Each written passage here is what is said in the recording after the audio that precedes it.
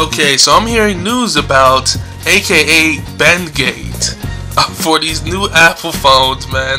The iPhone 6, man. What's going on?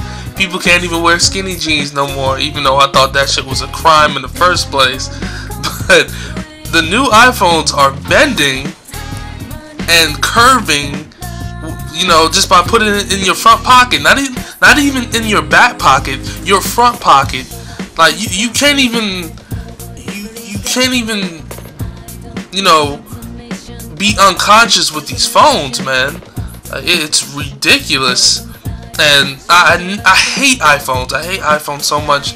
I think they're the dumbest product in history. I, I hate iTunes. I hate everything. I, I Apple, whatever. I'm strictly I'm a keyboard kind of guy. I need to type in things physically. You know, I, I have a keyboard phone, and I'll, I'll, stay that way till they stop making them. You know what I'm saying?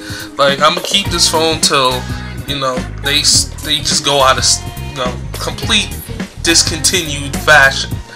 But um, this new news, and everybody's talking about, well, you know, you need to stop making phones out of plastic. Well, this new aluminum uh, metal feeling new phones are bending and what would you expect like you you're so eager to buy these newer flatter designed phones and yet here they are bending and then soon they will break on you and there's a couple of pictures out there on the internet and people from I- apple are just apologizing like you know like like japanese businessmen just bowing down right in front of your face. Oh, I'm sorry.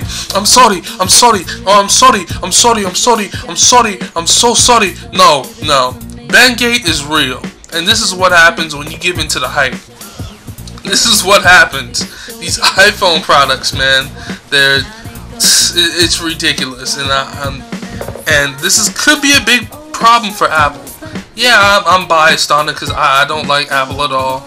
And you know, I stick with the tried and true. I'm not that fancy of a gadget of a guy, you know. I still have a laptop. I, don't do tablets, any of that. I might adapt to that later on, you know, in the future when I get some more income. But come on, man. This, this, this. First, you copy off of, you know, the Galaxy Note by making your your screens bigger and everything like that. And and then now, now this, you know, now bending, now you come out with a phone every like three months, and and now this happens. You, you know, people wise up, man. Wise up and be wary of your money. That these phones are costing as much as a system, a freaking console, a laptop, which can do way more, and which is way more stable than these phones but yet you're investing 400 something dollars into these things and i'm looking at you guys like what, what, what the hell? What's going on? What is wrong with you guys? But you know, everybody has their own thing. Everybody is committed to a product. Maybe people, you know, had good experiences with Apple and with iTunes. I, I never really had a good experience with the Apple products. Maybe some people did, and some people like the operating system, the iOS, and how it feels and how it looks and how it's, you know, uh, designed or whatever. I'm a big design fan, and you know the the iOS that design is nice. It's clean. It's fresh.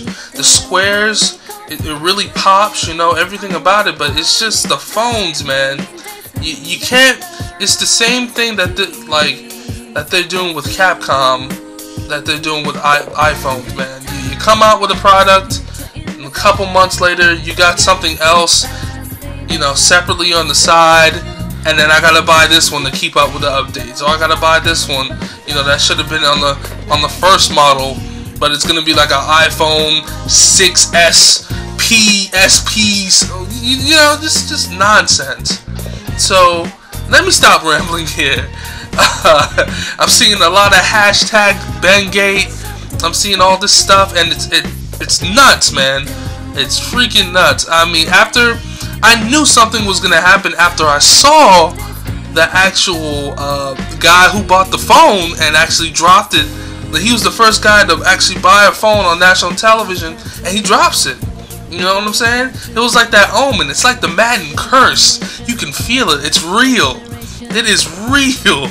And, you know, Richard Sherman, you better watch out, because that Madden curse is something else, boy. it is something serious.